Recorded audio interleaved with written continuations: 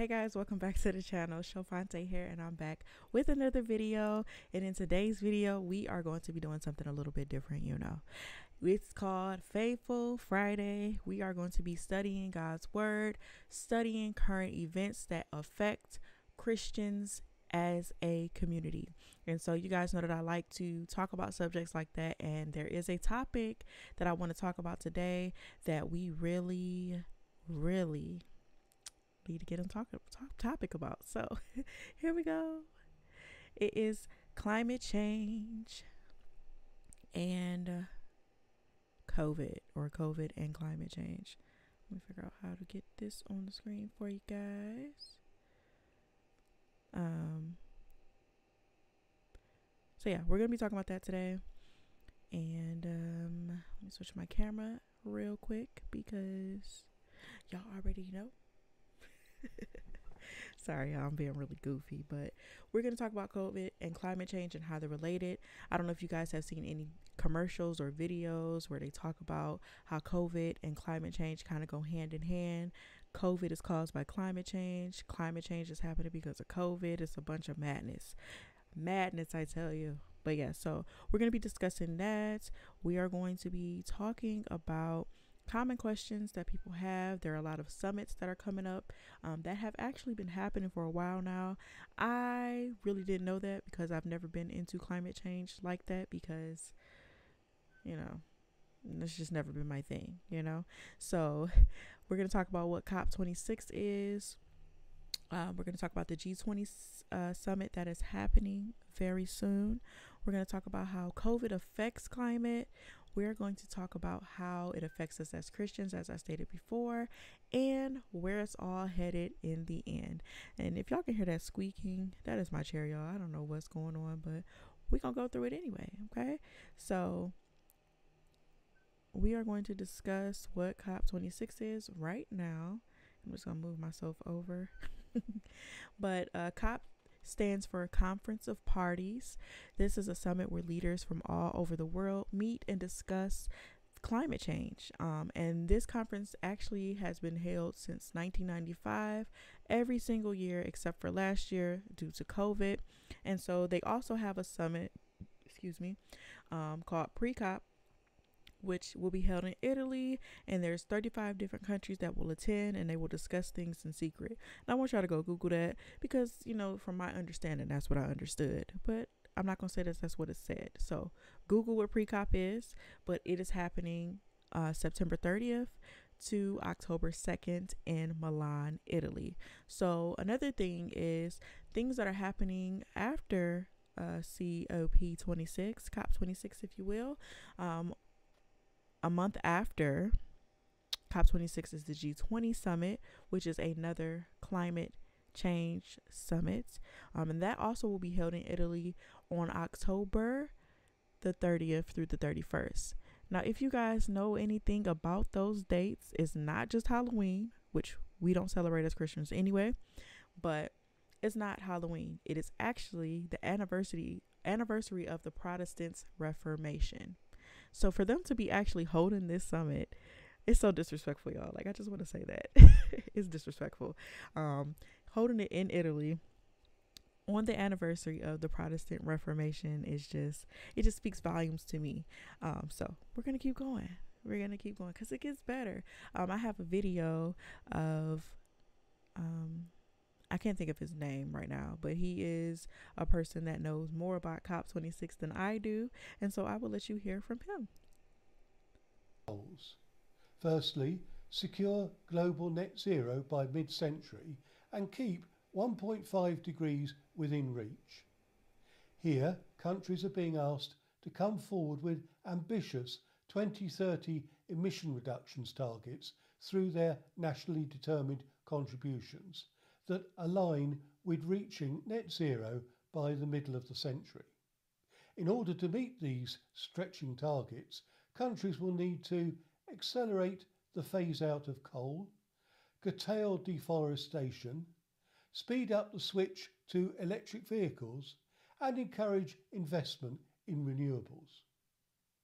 Secondly, adapt to protect communities and natural habitats As the climate is already changing and is expected that it will continue to change even if we reduce our emissions and still have its devastating effects on climate and on our habitats. At COP26, it is intended that countries will need to work together to enable and encourage actions for countries affected by climate change, such as the protection and restoration of ecosystems, and to build defences, warning systems, and resilient infrastructure and agriculture to avoid losses of homes, livelihoods, and even lives. Thirdly, mobilise finance. To deliver on the first two goals, developed countries must make good on their promise to mobilise at least $100 billion in climate finance per year. Here, international financial institutions must play their part by working towards unleashing the trillions of dollars of private and public sector finance required to secure global net zero. And finally, work together to deliver. With recognition that countries can only rise to the challenges of the climate crisis by working together. At COP26, it will include sub-goals which will finalise the Paris Rulebook, the detailed rules to make the Paris Agreement operational, and to accelerate action to tackle the climate crisis through collaboration between governments, businesses and civil society. And for greater public engagement as there is likely to be an overwhelming public response to the summit and increasingly pressing calls for global action. This includes increasingly vocal young people with a specific note of the Youth for Climate event being planned for the pre-COP in Italy. Further information on the issue So y'all saw further information. Why does thing be doing that? Sorry, y'all. Okay, let me get myself together because I don't understand what is going on. Okay, there we go. you guys saw it there. Um, what the COP26 goals are, and it's a lot. Working together, reducing emissions, sitting at home. It's a lot. I don't know if you guys have heard of um, Laudato Si. But the Pope actually made this encyclical, I want to say a few years back. Um, and it is a seven year plan to basically uh, regenerate the earth, give the give the earth a sabbatical, if you will. And so I'm going to show you this video where they have the young people because if you heard his message, they want the young people to go out there and basically fight for the earth because it's their generation. Um, it's no longer our generation anymore. And I'm young, um, but they want the youth to take over. So I'm going to show you guys this video really quickly. Um, and there's a lot of things that is disturbing about it. Now, mind you, I don't think it is anything wrong with trying to um, take care of the earth. Um, I don't think it's anything wrong with that. But as Christians, we know that this earth, ha- earth has to pass away. And so a lot of this stuff is very um, contradic- contradictory to the Bible. And that is where I have the issue. So let's do it.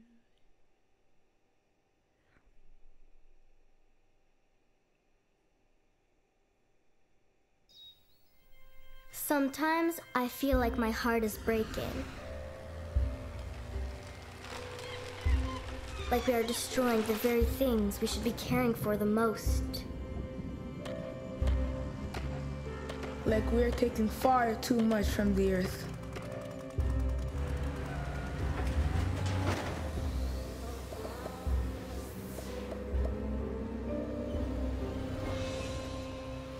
What kind of world we'll leave for future generations. But I believe that even one person can change the world. And that if we listen to our hearts and listen to each other, together, even little things and little changes can make a big difference. We are stronger together than apart. and can overcome any obstacles. Join us as we care for our common home.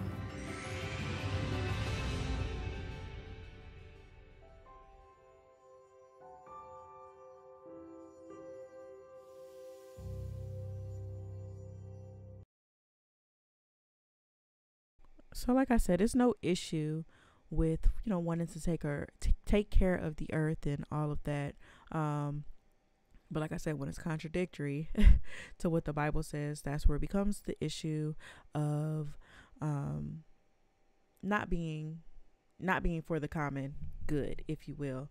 So I know I keep saying if you will, y'all. That's for lack of better words. I don't I don't have them. I'm, I'm at a loss for words, obviously. but um, common good, common home. Yes, we all live on this planet, right?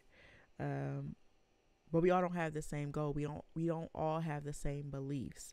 So like I said before, we know that the earth will pass away so that we can have a new heaven and a new earth.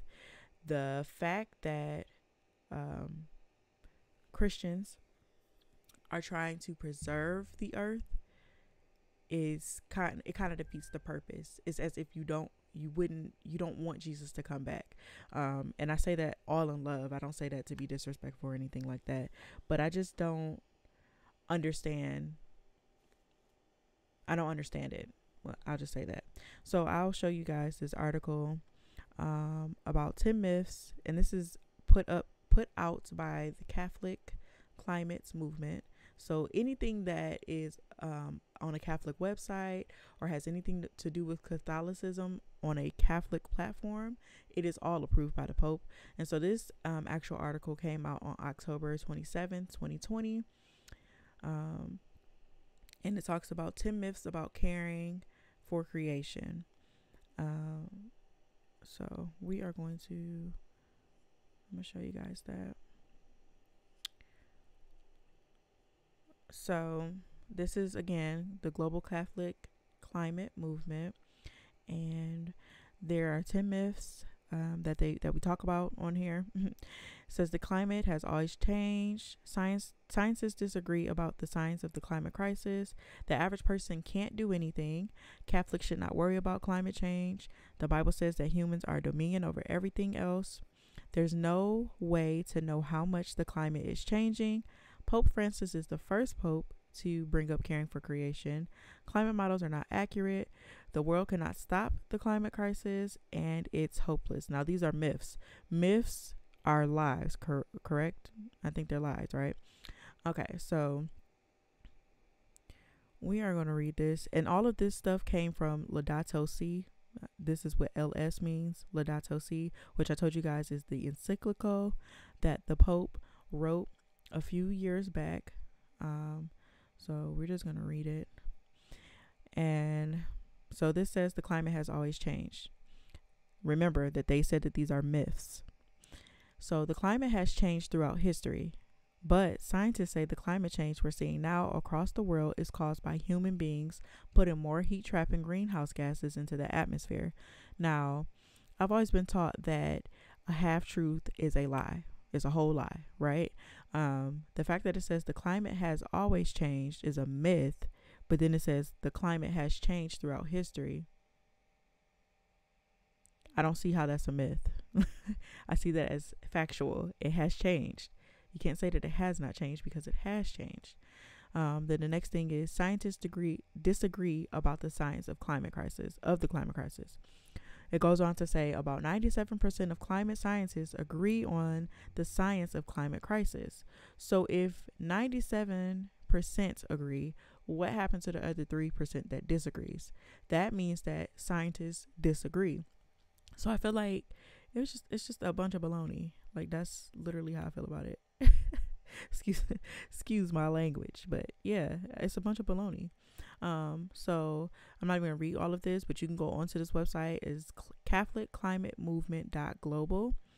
Um, but we're gonna read we're gonna get into number five because we're talking about the Bible, and it says the Bible says that humans are dominion over everything else, which gives us permission to do as we please on earth. Um, the Bible does not say that it gives us permission to do as we please on earth, but it does say that we have dominion. So I feel like they took the scripture and kind of twisted it. So it's just Genesis 128. And I'm going to read it from the Bible. Um, since I have it right here. But it says, And God blessed them, and God said unto them, actually, I'm going to read from verse 27. Um, so God created man in his own image, and in the image of God created he he him, male and female created he them. And God blessed them, and God said unto them, Be fruitful and multiply, and replenish the earth, and subdue it, and have dominion over the fish of the sea, and over the fowl of the air, and over every living thing that moveth upon the earth. And then it goes down to tell you about what God gave them to eat and what God gave the animals to eat. Now, as you read down here, um, Pope Francis says that we must forcefully reject the notion that our being created in God's image and given dominion over the earth justifies absolute do- domination over other creatures. The biblical texts are to be read in their context. Um, I don't know how more in context you can read that, but it literally says that we have dominion over every creature that crawleth on the ground. Literally. That's literally what it says. so um, then he reads Genesis 2.15, which it says, I'm going to read it from the actual Bible.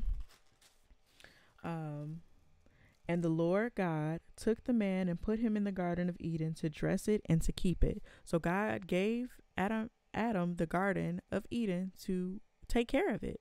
And so it says, um, Pope Francis goes on to say, tilling refers to cultivating, plowing, and working while keeping means, caring, protecting, overseeing, and preserving. This implies a relationship of mutual responsibility between human beings and nature. Each community can take from the bounty of the earth whatever it needs for substance, but it also has a duty to protect the earth and to ensure its fruitfulness for coming generations. Now, the Bible doesn't say that. Um, in fact, after sin, Adam and Eve were kicked out of the Garden of Eden, so they no they no longer had that responsibility of caring for the garden. Okay, so um, when he said you should read the Bible in their context, I think that he should also do that as well, because he took he took a lot of stuff out of context to twist it his way.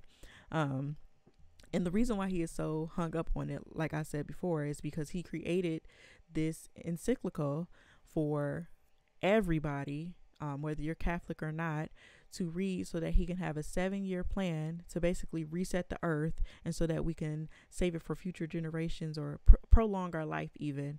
And i think that is not biblical number one because we like i said before we know that this earth has to pass away. So this stuff has to happen. The bible says that it's going to be calamities. He says it's going to be floods. It's going to be earthquakes in different places this stuff has to happen. So for them to say, oh, it's climate change, it's not climate change, it's the Bible.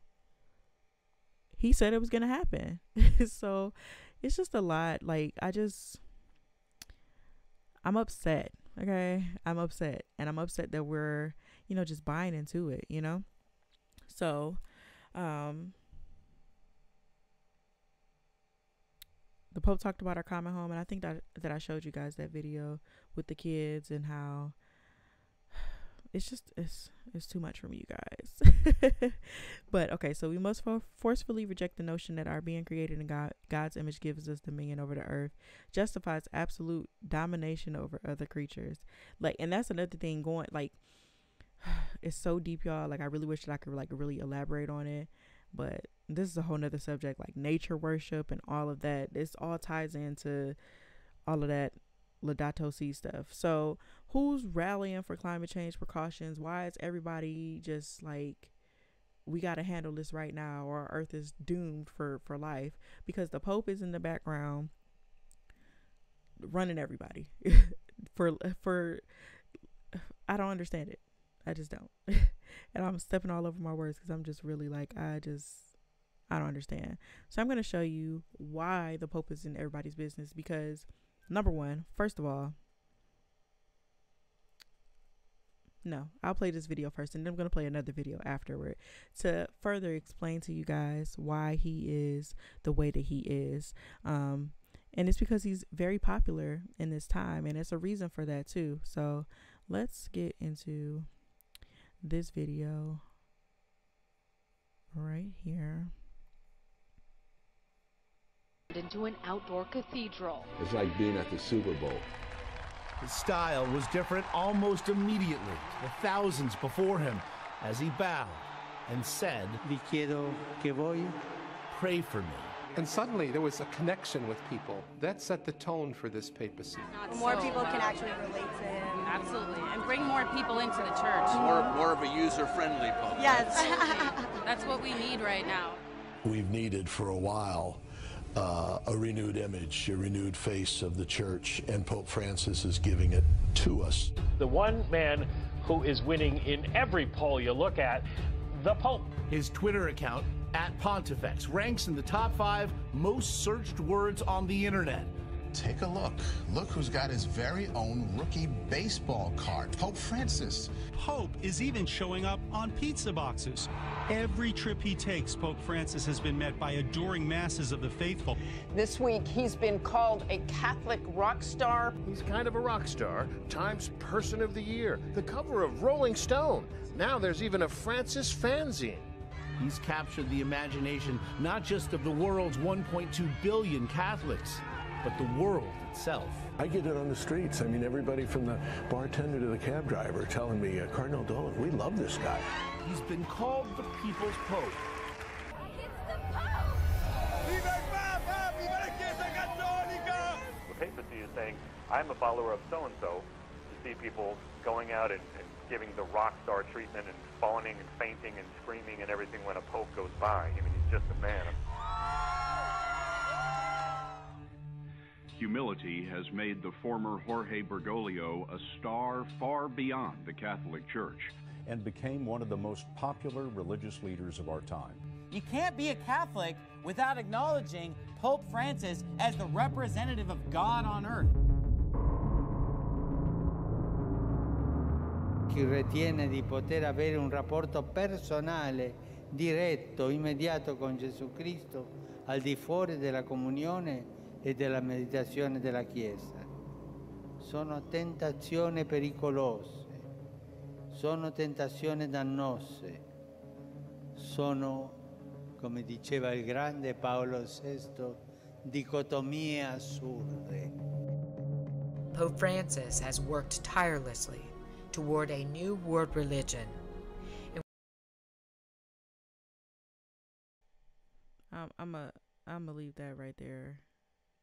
I am gonna play that video because he really is the person behind all of this. And as you saw, all those people worshiping him, like just just blatantly worshiping him. Um, I find that I find it disappointing, to say the least. Someone saying that they are in the place of Christ. If you go against the Catholic Church, if you if you don't listen to the Pope, that's not that's not only a temptation, but it's hurtful, it's harmful. Y'all. And this is why he's so popular. I'm just I'm just tell you that. He that is why he's so popular because he's relatable. He's probably funny. I don't know. You know, but people are just eating it up. And I feel like as Protestants, we should know a little bit better. Okay. So if anything is coming from the Catholic Church, the Pope himself, that is not something that we want to follow. I'm just saying because in the Bible it talks about the leper. Can the leper change his spots? Absolutely not. So if you think that the Roman Catholic Church is any different than it was a thousand years ago, two thousand years ago, absolutely not. They're not. So let's get into this other video, you guys. Um, me make sure it's in the right spot. Because they talk about how um, they talk they discuss the Vatican and what it really is because I think a lot of us um, don't recall or don't remember that the Vatican City is an actual country and I don't understand how everyone is always running to him when countries don't be tight like that. Like, I mean, it's allies, I get that, but then it's also enemies. And America, if you know your history, America was America because the Christians, early Christians, ran from the Roman Catholic Church. Like, so it's a lot, y'all. It's a lot. It's a lot. And I'm to keep saying it's a lot because it is a lot. But yeah, y'all. Okay. let's let's check out this um this video right here.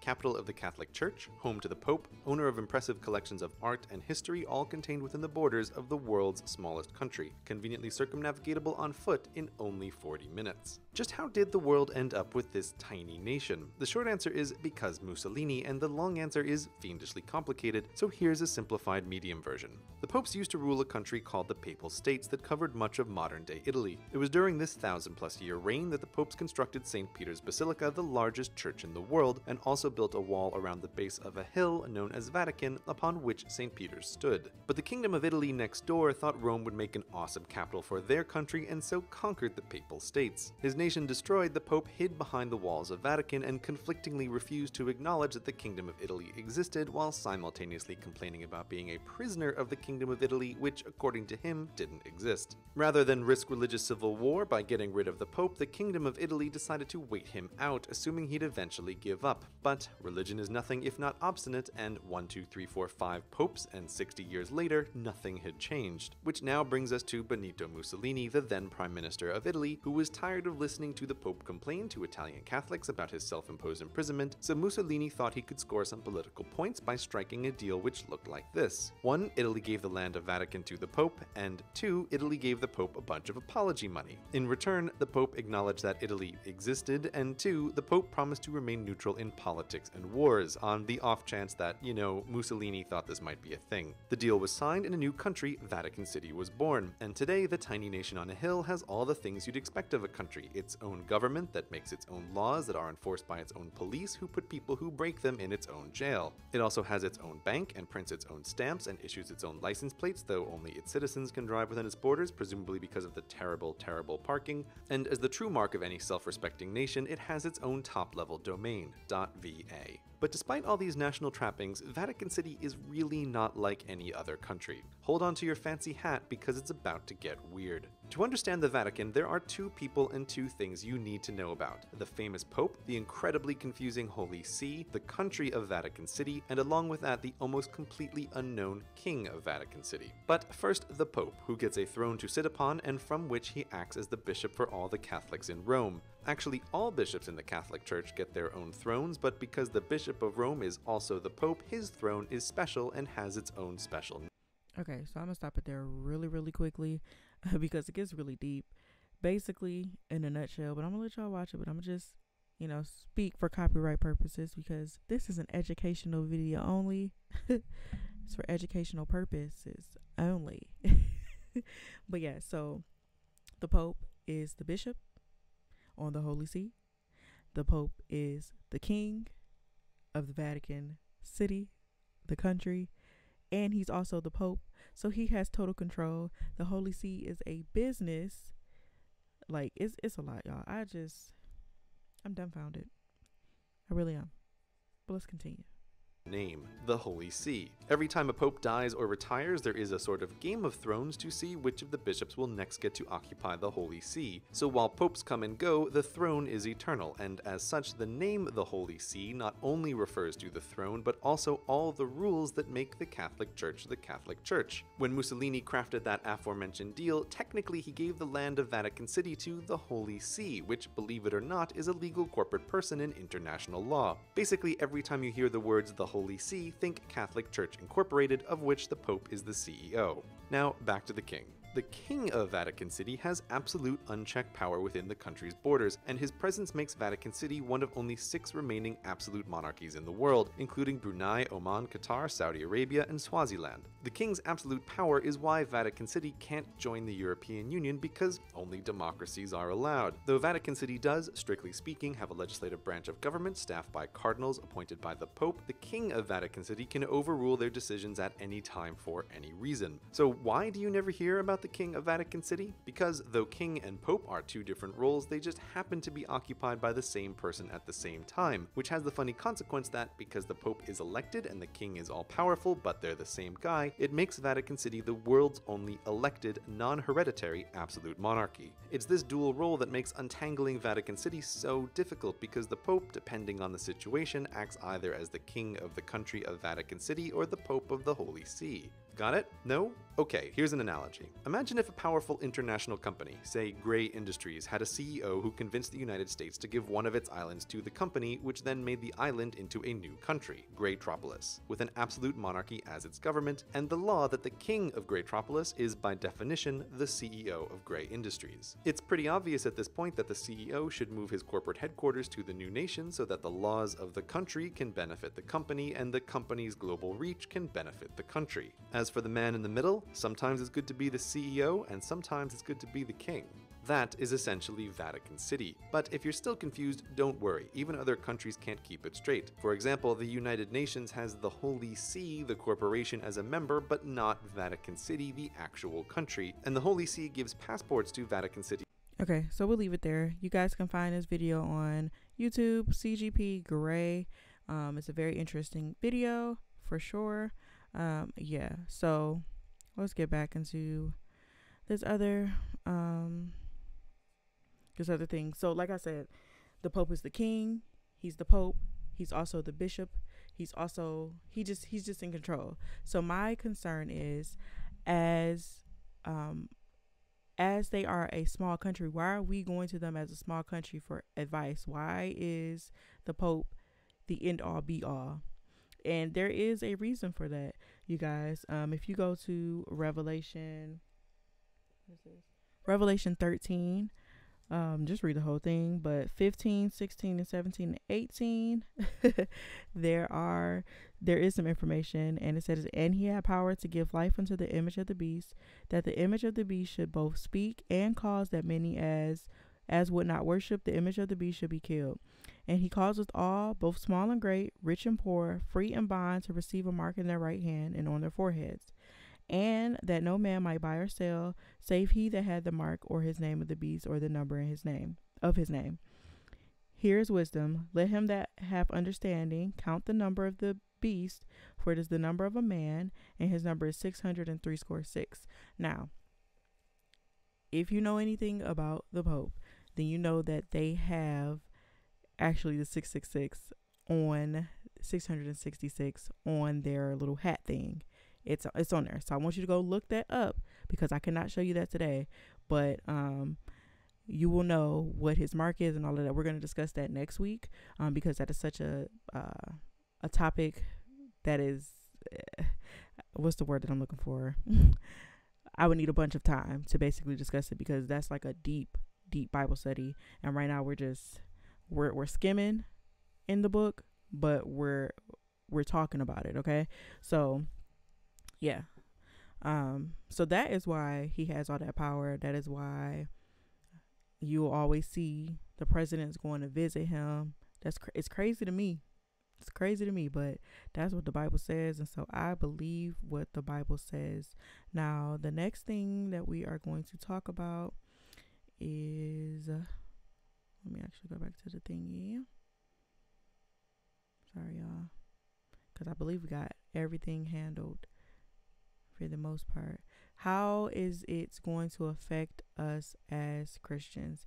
As I just read in Revelation, um, verse, I mean, chapter 13, those verses, it's going to affect us in the end because we are not going to be able to buy or sell or to do a lot of things because some of us are going to go against the grain. I pray that all of us go against the grain, um, but the ones that go against the grain and do not jump on board on some of these things, i.e., climate change, because that is one thing that is going to take us into the mark of the beast for sure.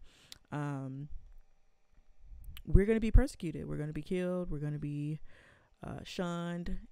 Any anything that you can imagine and worse. Um, so that's how it's going to affect us if we are faithful. Um, and what does this mean in the end? That we need to get into our word. We need to focus more on God. We need to make sure that we are strong enough because, I mean, the Lord gives us strength. The Lord gives us strength, but we have to do our part by reading His word and just being rooted in what He wants for us um, in our life. And so I feel like it was more that I wanted to say. Yeah. Oh, it is more I wanted to say. Sorry, y'all, because I wrote stuff down because uh, the Lord, when He gave me this assignment to present this um, to you guys, I was a little bit apprehensive because you know how it is. Um, you never really think God is calling you to do do something, and so I'm being obedient. I'm walking in obedience um, this season because I want my spot in heaven. I really do. Like I'm not letting no fear stop me. I'm not letting what other people think about me stop me.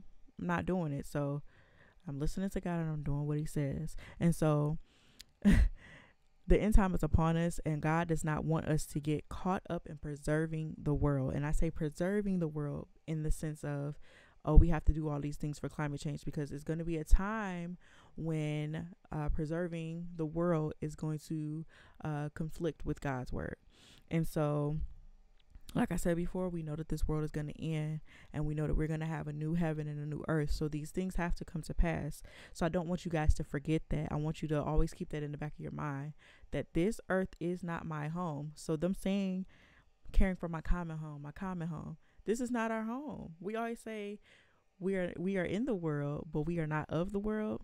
That rings true. This is not our home, you guys. This is temporary. This is temporary. And so I'm going to end this video off in prayer.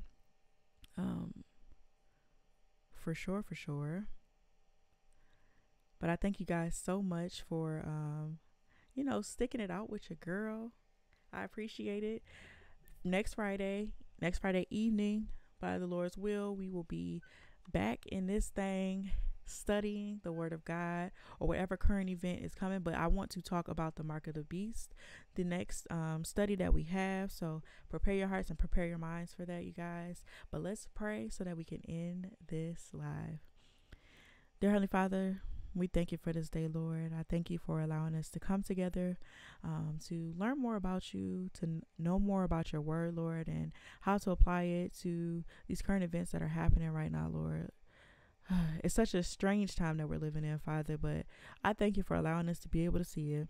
I thank you for allowing us to be able to see your word come true. It's amazing. It's amazing, Lord. So I just thank you for that, Lord. I ask that you forgive us for all of our sins and our shortcomings, things that are not pleasing in your sight, Lord. I ask that you remove them. I ask that you renew our minds, Lord. Conform our wills to yours, Father. I ask that you continuously be in our lives, continuously guide us and keep us. Lord, these times are times for boldness, for your will and for your way, Lord. And I just ask that you just give us the strength daily to continue to walk in your statutes, Lord. Be with us and guide us and keep us, Lord. So much I want to say, Lord. And I just ask that you uh, have your Holy Spirit interpret the things that are on my heart, um, the things that are on anyone's heart who is watching this live, Lord. I ask that you protect us from all hurt, harm, and danger, Lord, because you know that the enemy will be upset about this, Lord. But I know that you are a strong tower and that anyone who calls on your name, Jesus, that we will be saved, Lord. So I thank you in advance for all the things that you're going to do. I thank you for all the things that you've already done, Lord. And I ask that you just continue to be with us, continue to be with these studies, Father. And Lord, please help us to bless somebody. Help us to bring somebody to closer to you, Father. That's all I ask, Lord, even if it's me. Even if it's me, Lord. So I thank you once again, Lord, for everything. We thank you and we love you. In Jesus' name we pray. Amen. All right, y'all.